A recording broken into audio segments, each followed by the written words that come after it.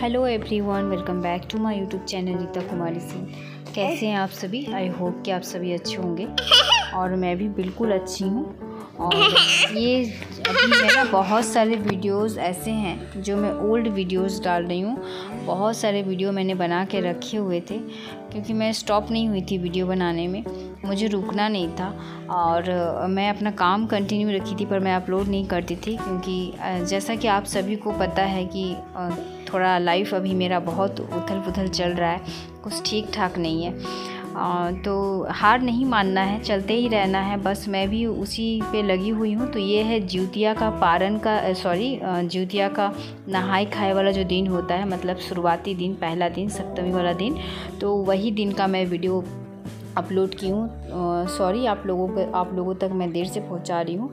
तो हमारा जो पूजा है, वो आटा का हलवा से ही स्टार्ट होता है। तो मॉर्निंग का टाइम का तो वो नहाना वगैरह सब कंप्लीट हो गया था।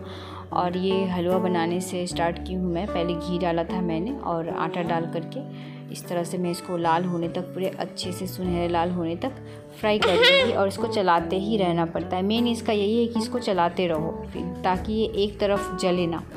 और बहुत ही यम्मी और टेस्टी बनता है आटा का हलवा। मुझे नहीं लगता और कोई चीज़ का हलवा इतना टेस्टी लगता होगा। बहुत ही टेस्टी बनता है। हमारे इस, ये जो ज्योतिया का जो पूजा है, इसका स्टार्टिंग आटा का हलवा से होता है और इसका समापन भी आटा का हलवा से ही हम लोग मतलब व्रत जो तोड़ना होता है, व्रत करना और तोड़ना, दोनों ही आटा के हलवा से हम लोग करते हैं। यही रूल है। तो बहुत देर से आप लोगों के पास मैं वीडियो लाई हूँ। वीडियो बना बना के रख दी थी और अब मैं डाल रही हूँ डेली प्लीज़ आप सभी सपोर्ट करें ताकि मैं जल्दी से कुछ कामयाबी पाऊँ बिकॉज़ मुझे तीन साल हो गए इस चैनल में मगर अभी तक मैंने यहाँ से कोई भी अर्निंग नहीं किया है। और बहुत ताने सुनने को मिलते हैं बट कोई नहीं ताने सुनने से कुछ नहीं होता। जैसा आप का काम करोगे वैसा ही फल आपको मिलेगा है ना?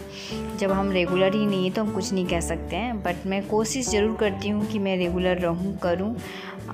बहुत सारी आ, मतलब वाद विवाद के बाद भी कंटिन्यू रखी हूँ अपने आप को तो सब कुछ देखना पड़ता है एक्चुअली में। तो यहाँ हमारा जो है, नहाए खाए का जो रेसिपी है, वो तैयार हो गया है। यहाँ मैंने हलवा बनाया है, वो हलवा मैं क्लोज़ करके दिखा रही थी आप लोगों को। और यहाँ सब्ज़ी बनाया है मैंने, और उसके बाद यहाँ मैंने थोड़ा सा पराठा बनाया हुआ है। तो बस यही अब खाऊँगी और सब निरामिष है, लहसुन, प्याज वगैरह कुछ नहीं है इसमें। तो आप लोगों ने देखा कि मैंने अपना नहाना खाना कैसे कंप्लीट किया। तो ये दिन हम लोगों का ज़्यादा कुछ नहीं होता है, बस हलवा खाकर ही हम लोग अपना नहाना खाना जो है वो स्टार्ट करते हैं।